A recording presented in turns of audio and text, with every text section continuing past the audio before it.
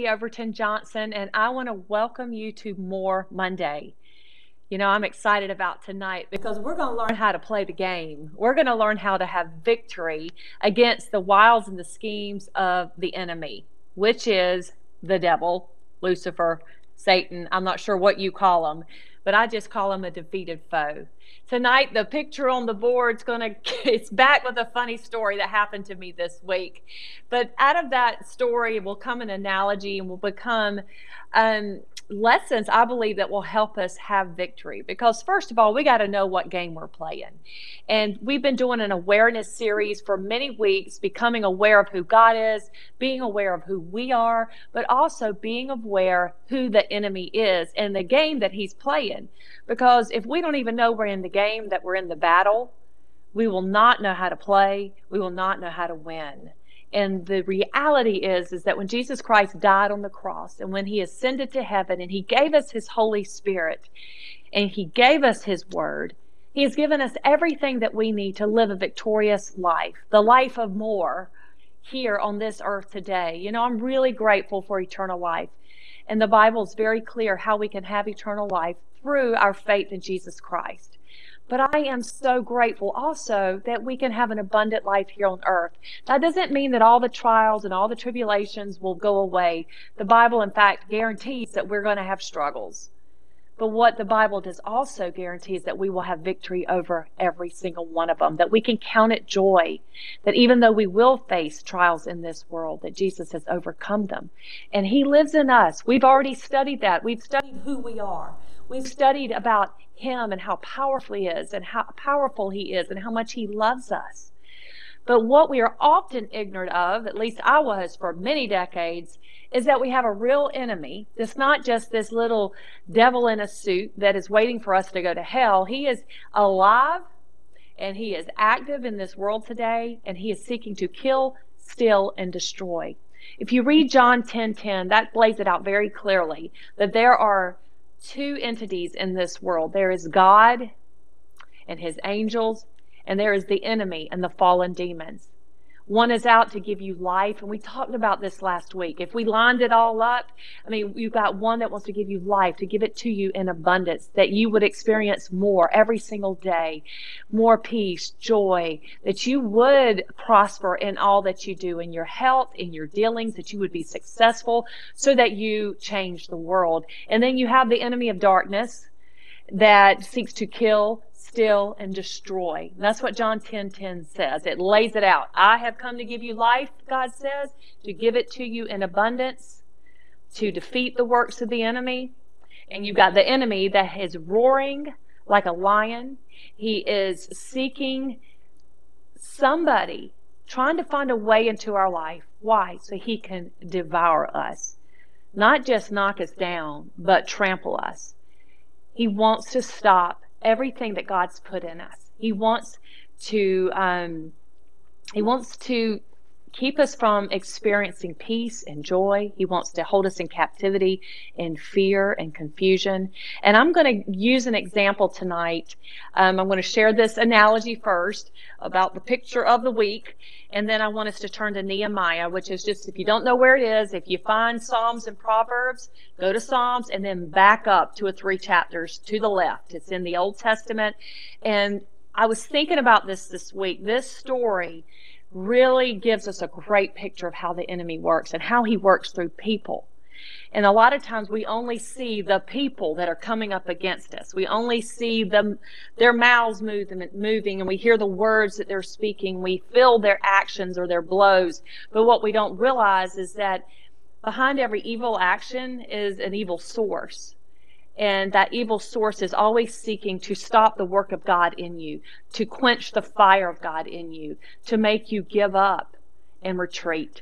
And so we're going to study Nehemiah because it's going to show us the tactics of the enemy and it's also going to show us how to defeat the enemy so that we carry out the plans and purposes that we have been designed to fulfill. So this picture of the week, You know, I always try to have something that we can relate to and that might be funny. Well, this is a checkerboard. And this week I brought checkers out. I love playing checkers. It was something that my granddaddy Charlie and I played together all the time when I was a little girl. And I can just remember he'd get down to the end and he'd get into that king line. He'd go, King me. And we just had so much fun. Well, I have a Ukrainian girl staying with me, a young girl uh, from the Ukraine. She's been with us now six months and um, will be with us for a while longer. And we were playing checkers this week. I was like, Have you ever played this? And we're kind of trying to communicate through broken English and broken Russian. And, and so we we bring out the checkerboard, one that I'd gotten at Cracker Barrel. It's you know covered up half the table. We had our big checkers, and we're playing. And I get down and and all of a sudden, she goes in reverse. She doesn't have a king, but she takes her man and she starts going backwards and jumping my man. I said, Whoa, whoa, whoa, whoa, whoa, what are you doing? And she says, What? Yes, yes, I can. I said, No, you can't. Only the king can go backwards. Da, da, yes, yes, in Russian. And she pulls out like YouTube Russian, like I'm going to understand what she's doing. And we're watching the game. And we were playing two separate games. Okay, I'm playing United States American checkers, which you only go one direction until you're the king, and you can only jump one spot unless you have, you know, an ability to jump more. Well, the way they play it is almost more like chess. You can go down a whole diagonal row. You can jump some somebody either direction. If you, and if you miss a jump, they can steal the man, steal your man if you miss it. It was crazy. And so here I am trying to win a game and she's trying to win a game and she's she's pulling stuff out and taking me left and right with rules I didn't even know existed because we were playing two separate games. And you know, when I discovered the enemy's rules the way he plays, he don't play fair. And if he's got a chance to jump you, he don't care which direction he's going to go, he's going to take you out. And if you aren't aware of the game that he's playing and you're not aware of the rules of that game, and the directions and the ways that he could take you down, you're going to be captured. And so I put this up here to remind us, and and I and I and I like her game, and I've learned the rules, and I think I actually beat her at her own game because it had a lot of strategy to it, and it was a lot of fun. But the reality is, I wouldn't have won if I didn't learn the rules. She was she was cleaning house in ways that I didn't even know could be done. And so today you might be going through life and you just feel like your clock is being cleaned. I mean, you are around, you're just going, everything's good. You think you got victory and all of a sudden, wham, you're captured. You're like, no. And the devil's like, oh yeah, yeah, that's within the rules. And so you're playing two different games and I don't want you to be defeated. I don't want to be defeated anymore. And so we're going to talk tonight by using the chapter, the book of Nehemiah and his life and we're going to learn about the enemy's tactics. So, little background about Nehemiah. Nehemiah was a cupbearer to the king. And he had in his heart that he wanted to leave the king that he served and he wanted to, and I can't say his name. I'm just going to have to call him King A, or or Toxorus or something. Anyway, um, he had in his heart that he wanted to return to Jerusalem to rebuild the wall around Jerusalem because he knew that his people, God's people, were left exposed and they were being um, just plummeted by the enemy. And God had put it on Nehemiah's heart and he knew it was the Lord because he and the Lord walked close. He knew God was call, he knew God was calling him to go back to Jerusalem. God gave him a very um, detailed plan, and we see if you study Nehemiah, you see how he very methodically carried out that plan. He didn't rush ahead. I mean, that's how we get in trouble a lot of times. We rush ahead, blabbing to everybody what God's told us we're going to do. I have done this so many times. God's put this on my heart to do, and you don't know how you're going to do it, but you also don't know who wants to oppose what you got in your heart to do. So Nehemiah was very wise. He moved forward very slowly, very methodically. He listened to God and he took everything one step at a time. Well, the king, God puts favor on the king's heart. The king releases Nehemiah from his duties, sends him off to Jerusalem to rebuild the wall for the Israelites. And he also, I love it in chapter 2 of Nehemiah, we see that the king gave him more than Nehemiah, than Nehemiah even asked. He gave him an army to help protect him. He gave him letters to give him safe passages through foreign lands. He gave him wood and provisions from some of the most beautiful places. It was more than what Nehemiah asked for. And I just love that we have a God of more. We have a God of abundance. And when He puts something in our heart, He puts favor in our life for those things to be carried out. Our job is to have faith our job is to be obedient, and our job is to be strong, courageous, and have a persevering spirit. Because you're going to face an enemy, a real enemy, who might have rules and play ways that you don't even know. And so Nehemiah was smart. He walked closely with God. He moved in the timing of God. And when he came against opposition, he went to God, he prayed, and then he kept persevering and he kept having victory uh, and victory, victory, victory over that enemy. And in 52 days, Nehemiah and the Israelite people working together under the protection of God, under the provision of God, and with the power of God, they were able to fulfill what God had put on Nehemiah's heart. You know, when God is for you, nobody can be against you. But you do have to move forward with wisdom and discernment and the provision and the power of God. So I want us to look at Nehemiah right now. I want us to learn from his example because I think that it is just an amazing example of how we need to go to work, doing what God's called us to do on a daily basis, whether that's serving in a ministry or um, raising your children or working in, in a workplace somewhere, we're going to be attacked. Satan does not play fair, and he just wants to stop you in your tracks and discourage you. And so let's look at um, chapter 2, verse 19. So we see here that Nehemiah and the Israelites, they have started the work of rebuilding the temple. And it says in verse 19, but when Sanballat, and forgive me if you're a historian and you know how to pronounce these names and I don't, uh, I am from the South, so I'm just gonna just gonna say them how I think they should be say. Sanballat, Tobiah, and Geshem, the Arab, heard of our plan. They scoffed contemptuously, and they said, "What are you doing? Are you rebelling against the king?" So they're they're bringing accusations against Nehemiah. Nehemiah replied, The God of heaven will help us succeed. We, his servants, will start rebuilding this wall, but you have no share, legal right, or historic claim in Jerusalem. Right here, right off the bat, I think we learn an important truth. When the enemy comes against you, if you know who you are, and if you know who God is and who you are as his child, you know that exactly what Nehemiah said right here applies to you too. We can look at the enemy when they are coming at us, and however form the enemy comes at us, and we can say, The God of heaven will help me succeed. I am his servant, and I'm going to go do what he has called me to do, but you have no say. You have no share. You have no legal right or historic claim in my life. Right here, Nehemiah sets up the authority that he has, and he comes against the authority that the enemy thinks that he has. If you remember, I closed out last session talking about the authority that we have as children of the King. God sent his son Jesus to die for our sins, to pay for the penalty, to pay the price for our sin, to cover the cost of everything that any man has ever done.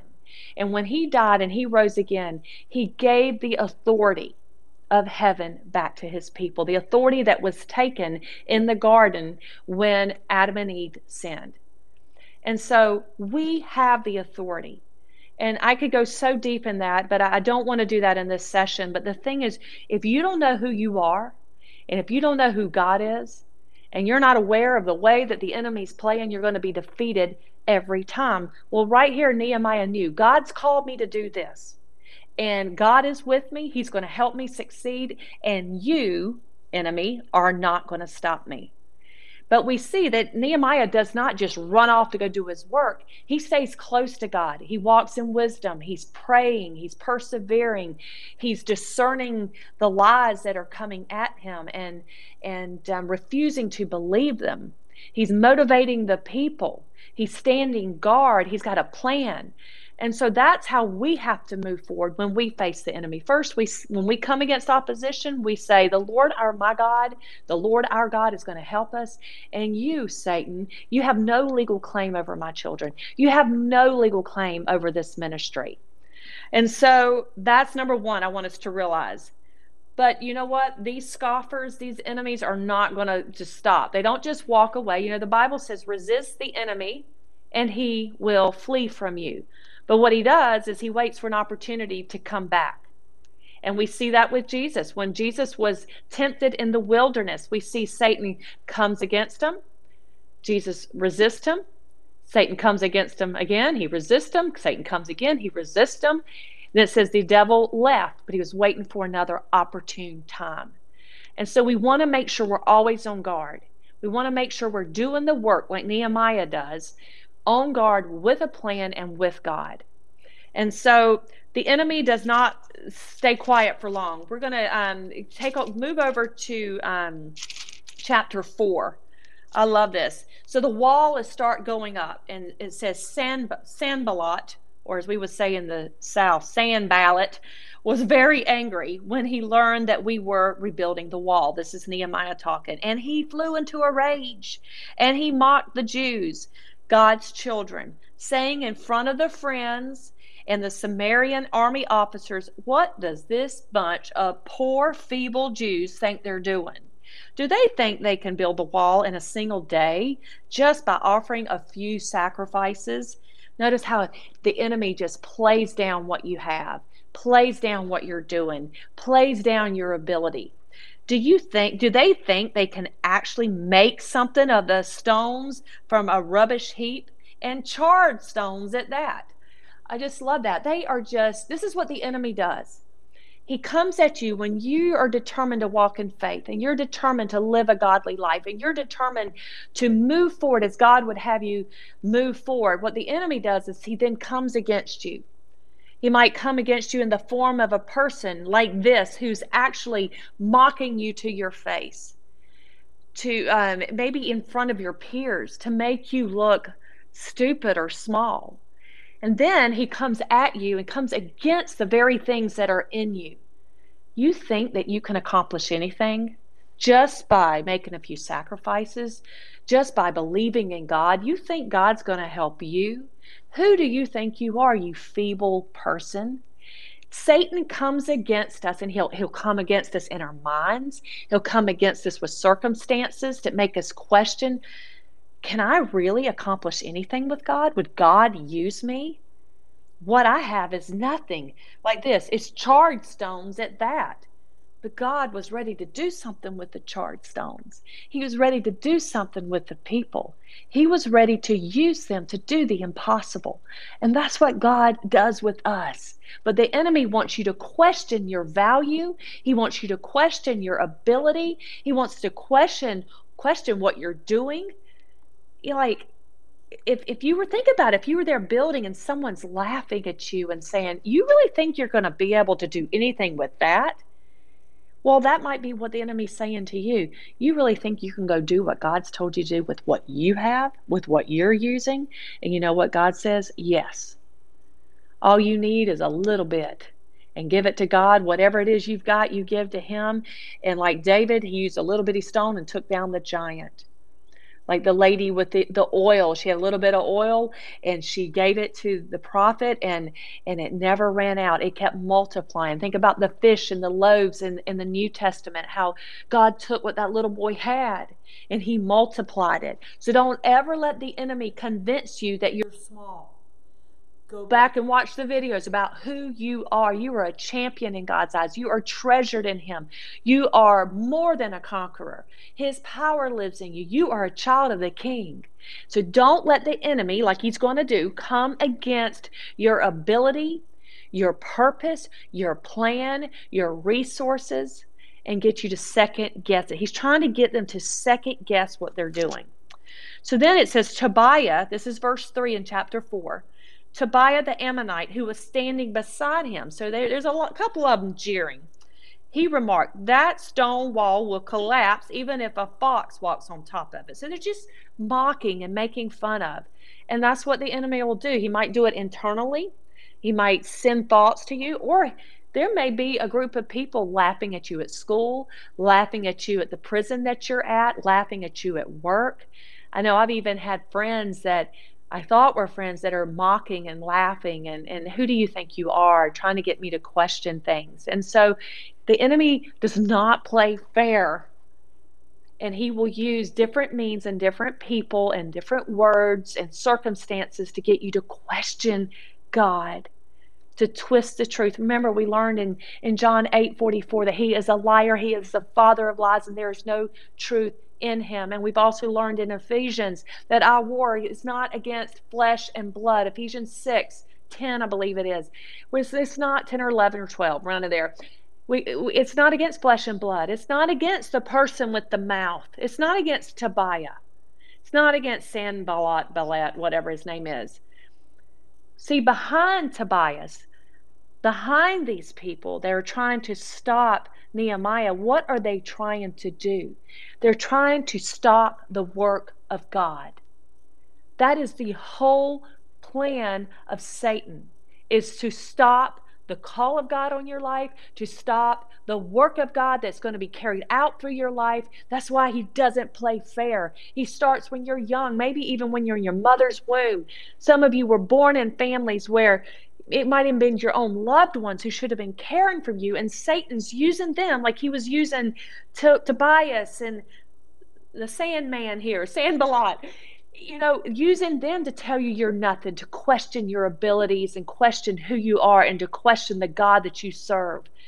And so always remember that behind those voices, behind those words, is an enemy who wants to stop the work of God. He also does not want your life to be rebuilt. He does not want, if your life's in ruins, it's been just it's total rubble and you've got nothing left but charred pieces, the enemy does not want you to pick them up, to give them to God, and for Him to rebuild your life in, in a very short time, even is what he can do. He can rebuild your life in a short time. So God, he doesn't want you moving forward with God because the enemy knows what happens when you get lined up with your belief system according to the word of God and you're walking with God in the spirit and the power of God, listening to him. The enemy knows nothing can stop you. So that's why he's going to come at you. He's going to mock you. He's going to try to bring confusion. We're going to see that. So um, here is Nehemiah's response to their mocking, saying, What you're going to do is never going to work. Even if a fox runs across that wall, it's going to, a little bitty fox is going to knock that thing down. And then Nehemiah prays. So this is what we got to do. We got to know our authority and we got to pray. Nehemiah prays, Hear us, our God, for we are being mocked. So if you, people are coming against you and they're saying things to you, get on your knees and say, God, would you hear my heart? And the Bible promises that when we come to God, He does hear His children. God, they're mocking me. They're they're coming against what I feel that you're saying I'm to do. They're telling me that I'm not enough, that I'm not good enough. They're they're laughing at your people, God. And so that's what he does. Tell God how you feel. Tell him what you're up against. He knows. He just wants you to come to him so he can give you his peace, his comfort, his joy, his provision, his plan his creativity. And so that's what Nehemiah does. And then he kind of gets real here. He says, May their scoffing fall back on their own heads, and may them that may they themselves become captives in a foreign land. Do not ignore their guilt, God. Do not blot out their sins. You know, I have a hard time praying against enemies like that. I just feel like we're to bless our enemies and pray for them and um, heap coals of blessings upon their head. But here we see, and we see a lot in David too. They're saying, God, don't ignore what they're doing because they are coming against your work, your kingdom work. And, and I do pray this a lot. Lord, if they're not going to turn to you, make everything that the enemy does to come after me turn back and boomerang back. Make the ch- wheels on their chariots fall off, just like it did on the Egyptians when the Egyptians were chasing after the Israelites. And so, those are the type prayers that I pray. So, you need to pray. You need to know your authority. You need to uh, you need to pray. You need to shut your ears to the lies and remember the truth. At last, it says in chapter 4, verse 6 of Nehemiah, at last the wall was completed to half its height around the entire city. I mean, this is amazing. And it says, verse 7 But when Sanballat and Tobiah and the Arabs, Ammonites, and Ashdodites heard that the work was going ahead and that the gaps in the wall of Jerusalem were being repaired, See, God is in the repairing business. He does not want gaps in our hearts, in our minds, in our thinking. And so He wants to go to work with us to fill the gaps. And that makes the enemy very, very nervous. When he sees your life and my life being restored, when he sees us moving out, doing what God's called us to do, seeing the gaps closed, people of God working together, the enemy gets stirred. He gets scared. And it says they were furious, and he gets angry, and he unleashes his anger. They all made plans. So this is the enemy is making plans to come against Jerusalem, to fight, and then it says to throw us into confusion. But we prayed. See, the devil wants you confused. I look at our nation right now and I see nothing but confusion. It's the enemy's tactics. He's tried fear, he's tried wagging his tongue, and now he's trying to throw us into confusion, to attack us, because he knows that the work of God is being done. Here's what Nehemiah's response was But he prayed. But he prayed to God, and he guarded the city day and night. So when you know the enemy's coming against you, and he is, you got to be on guard. You got to be watching. You got to make sure the gaps are closed. You got to make sure that there's no open door. You're not giving the enemy a foothold in your life.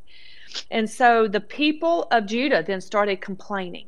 And when you get a complaining spirit and stuff like that, you got to watch it because that's an open door for the enemy. Unforgiveness is an open door for the enemy. Bitterness is an open door for the enemy. Fear is an open door for the enemy. Guilt and shame, condemnation all those things, busyness, fatigue, all those are open doors. There are gaps in our life where the enemy's going to try to come in and jump us, take us captive when we're least expecting it. So the, the people started complaining. They were getting tired.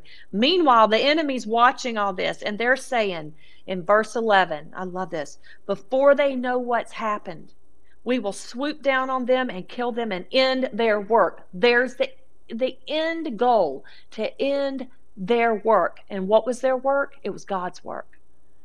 I think again back to that game when when Ira and I were playing and and I jumped. I'm I'm like I got it. I'm getting ready to go get kinged, and all of a sudden she backwards jumped, and I'm like, what in the world are you doing? She took me when I was least expecting it because I didn't know how she was playing the game. She was playing the Ukrainian checkers, not the American checkers, and so same thing you, you the enemy wants to swoop down on you and take you out when you least expect it and you don't even know what hit you. The Jews who lived near the enemy came and told us again. See, God has a way of letting you know when the enemy's coming against you. Says they will come from all directions and attack. So Nehemiah was wise. He got a plan from God. He set up guards. In the exposed areas, he set up guards. I think one of the wisest things that we can do is to examine our life and make sure, examine our ministries, examine our families, examine our workplaces, our finances, and see where there's a weak area. And then set up a guard there, close the gap, put someone on watch. Don't let the enemy have access. Don't let him have opportunity to take you when you're least expecting it. Be on guard. How can you be on guard? Being alert, praying, seeking God's face, listening to the Word of God, going through life with a sensitive spirit, discerning where God's working, where He's not, discerning truth, identifying the lies. That's how we can avoid being overtaken and sidetracked and swooped down upon by the enemy. Remember, he's portrayed as a lion that's that's out roaming about this world looking for a gap looking for a way to swoop in, to jump in and devour you. the families, they bound together and they took up, they, they started standing guard and working together. And that's another thing that if we as Christians would stand together with our faith, so much more would happen and so much more victory would happen. So um, Nehemiah looks over the situation. He calls together the nobles and the rest of the people and says, and this is what I want to say to you do not be afraid of the enemy. This is verse 14, chapter 4 of Nehemiah. Don't be afraid of the enemy. Remember the Lord who is great and glorious and, and fight for your brothers, your sons and your daughters, your wives and your homes what Nehemiah is saying and what I'm saying to you and what God is saying to us is do not be afraid of this enemy. Remember the Lord God, who is your Father, who is strong and mighty and glorious and able to do abundantly more than you can ever hope for or imagine. He is the God that is on your side and He is the God that's fighting for you. He's the God that's providing for you and equipping you for the battle. So don't be afraid. Don't give this enemy any foothold whatsoever, and you go out, you march out, you do the work of God, and you fight. How do you fight? You fight in the spirit. For your weapons of this warfare are not carnal. You don't just go out and speak words and hit people. No, you go out in the spirit. You pray. That's what Nehemiah did. You pray, you work, you move forward in wisdom and with the help of the Holy Spirit. When the enemies heard that Nehemiah knew what was going on and that God had frustrated the enemy's plans, see, that's what God does. He frustrates the enemy's plans. We all returned to our work on the wall. And then half the men worked and half stood on guard. But each man, I love this, it says that they worked with one hand and they held a weapon with the other. And I believe that that's what we've got to do. As we move forward in this world, especially in times like this, in times like this world is going through right now where the enemy is trying to sneak up on our family our kids through internet through relationships through condemnation through confusion intimidation all these things we need to be wise. We need to know who is on our side. And we need to have the sword of God as our weapon. Now, I want to stop here for a second. I want to turn to Ephesians 6 because Ephesians 6 tells us how to fight. It says a final word, Ephesians 6:10. So this is Paul talking to the church of Ephesus. He says, "Be strong in the Lord and in his mighty power. Put on all of God's armor." So when you are going out to fight, you remember who's for you? It's God. You go out and you face the battle with God in his armor and you put it on every day. What is his armor? Put on all of God's armor so that you will be able to stand firm. So you'll be able to stand. You'll be able to have the victory. For we are not, stand firm against all the strategies of the devil, all his moves. Verse 12, for we are not fighting against flesh and blood enemies. We've said that, but against evil rulers and authorities of the unseen world, against mighty powers in this dark world, and against evil spirits in the heavenly places. And can I just say that they do not play fair? So put on every piece of God's armor so that you will be able to resist the enemy in the time of evil. Not when, not if, but when the time of evil comes. It's coming. But you will be able to stand. And after the battle, you're still going to be standing. So here's your pieces of your armor. Put on the belt of truth. Now you got to remember, Paul spent a lot of time he spent a lot of time in prison. He spent a lot of time around Roman officers and army military people, the commanders, and he was looking at their attire. And he's got he says, put on that belt of truth. That belt was the thing that held everything together. It held the, the thigh pieces the, the around the loin belt. It, it held, um, excuse me, the loin belt held the, the breastplate of righteousness. It's what the weapons and things attached to. The truth, belt of truth, the word of God, the spirit of truth, the Holy Spirit. Those are the things that we've got to walk through this life with. That is what holds us together. Everything in our life is held together with the truth. You shall know the truth, and the truth shall set shall set you free and give you the victory. So you have the truth of God. You put on the breastplate of righteousness. You see, we have no righteousness in and of ourselves. It is Jesus Christ who died for us, paid the penalty for all of our sins, and then rose again. And I truly believe that. And the Bible says that if you have faith to believe that, then you have the righteousness of God. You have been made through your faith righteous. Not because I go and do something, but because His righteousness, Jesus' righteousness, His right standing with God, that's what that word means, is imputed to us.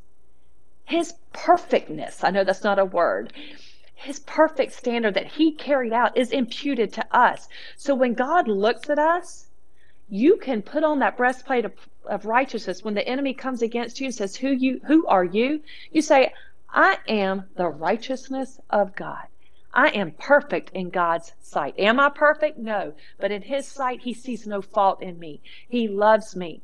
And I'm standing on that truth.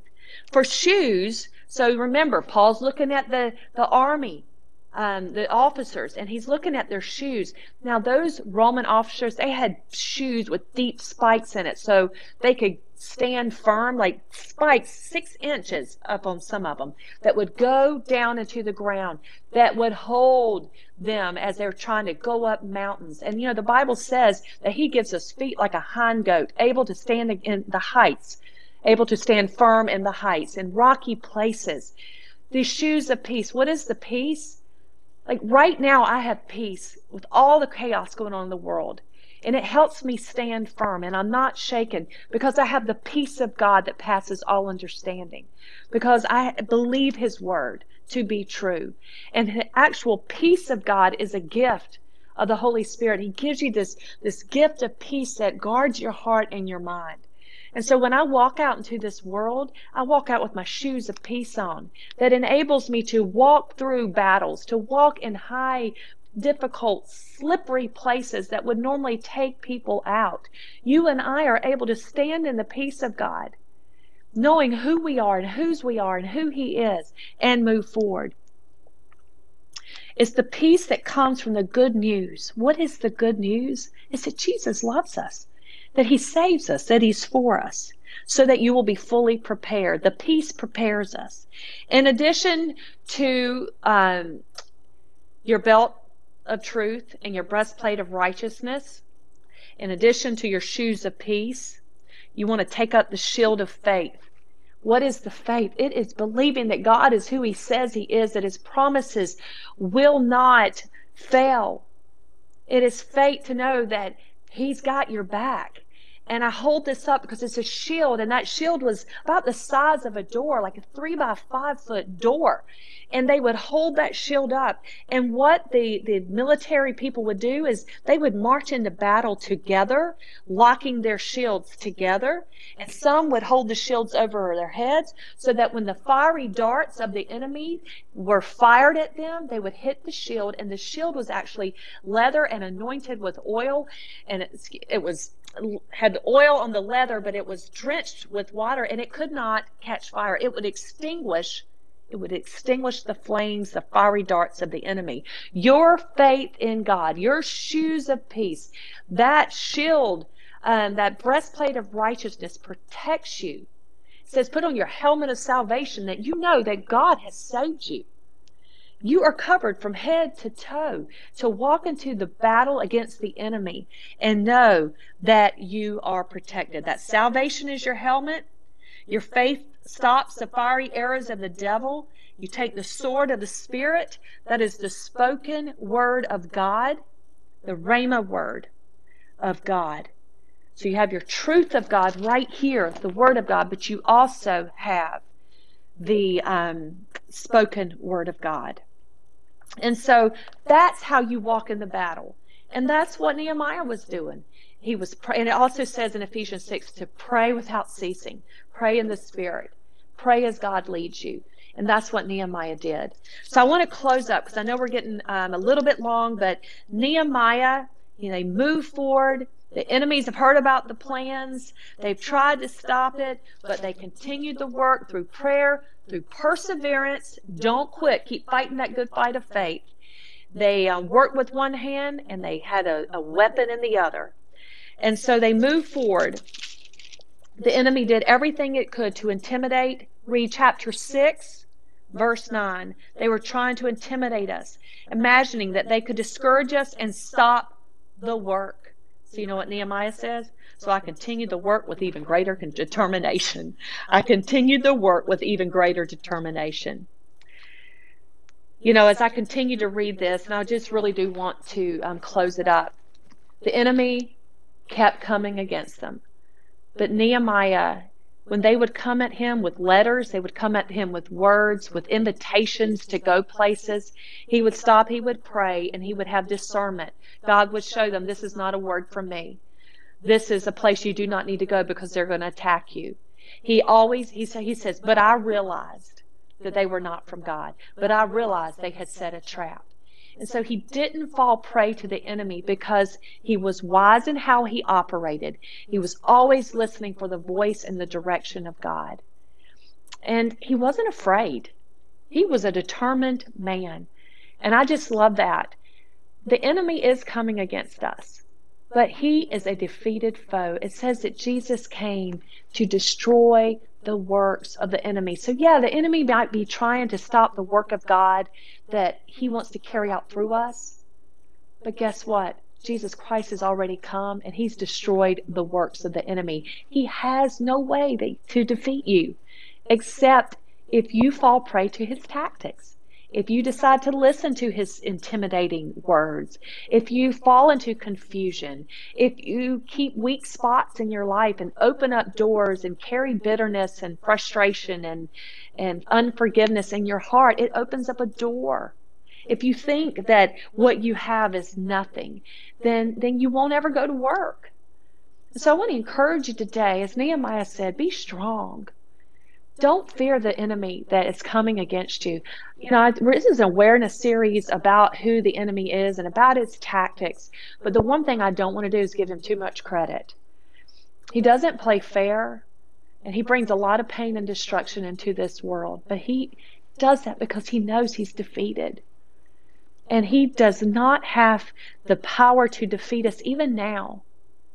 When the rains come in our life, when the storms hit, the Bible says that a wise person is one that has built his life upon the Word of God, that goes into battle with the Word, with God's promises, with their shield of faith, walking in the shoes of peace, knowing that they're a child of the King. And they keep marching forward, determined with a persevering heart. And guess what? Whatever God has called you to do, it shall be done. Nothing can come against the work of God except if we decide to stop, except if we decide to listen to the voices of the enemies. Don't trade the truth of God for a lie. Don't fall prey to the enemy's tactics. I, I want to pray for us as I close. I hope this has helped you. There's so much more I want to say on this, but I think we passed our 30 minutes, or maybe even 40 minutes, so I'm going to bring it to a close. But I want you to know this I love you. I appreciate you. And I am praying for your victory. In the name of Jesus, I ask God to empower you with the Spirit of God right now, to give you courage, to give you a persevering heart and a persevering mind, for you to know how much God loves you in a fresh new way, to understand the power of God that is for you, and that you will understand the enemy's tactics, that you will start walking in wisdom, discernment and walking in the plans of God. Take one step at a time, my friend. He's got your back, and you in Him are more than a conqueror in Christ Jesus. Slides are going to be coming up. You can connect with us um, if you're in prison by writing to us at the addresses listed on the slides. Hey, we're always looking for partners. If you're watching this on YouTube, I invite you to go to victoriouslivingmagazine.com and please, please, please just look at what's going on in our ministry. We need you to help us deliver hope to some of the darkest places in the world, prison. And uh, you can go and um, any dollar that you donate to our ministry sends one of our magazines, Victorious Living magazines, into prison, which will touch multiple, multiple lives for many years to come. Thank you so much for your support. Thank you for your love and your prayers. And I look forward to seeing you next time for more Monday.